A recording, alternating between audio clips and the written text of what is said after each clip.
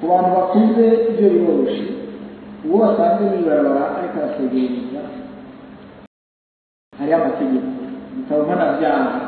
kirahana gusegerereza mu ibarabara b'abantu bakuze barahita kubapika ko ayo mategeko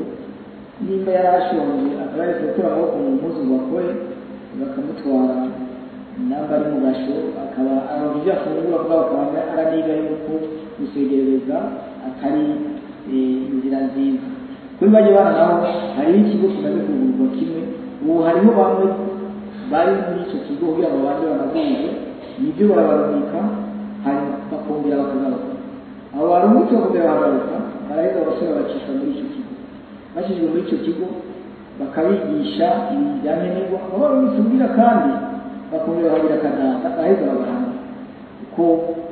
abageze guhanwa abageze gufungwa no gukora gukurikiranwa n'amategeko baraheza bakurikiranwa n'amategeko icyo kibazo rero cyarafashwe mu minwe na leta kandi muzoja murabona akarusho k'ibisiza kandi nagiye ko natembera ndabona akarusho ndabona aho twabura tubona abantu birirwa bajyanye mu ibarabara yagiye gutora akana kiza kandi kiri ngaho katari na bibazo gusegesha turabona ko atakibona cyane ntabwo hari hari haracikinze amahumbezi mugabo ahantu henshi mu minsi iheze nko mu mezi abiri ari inyuma uhasanga kandi izo ziteye isoni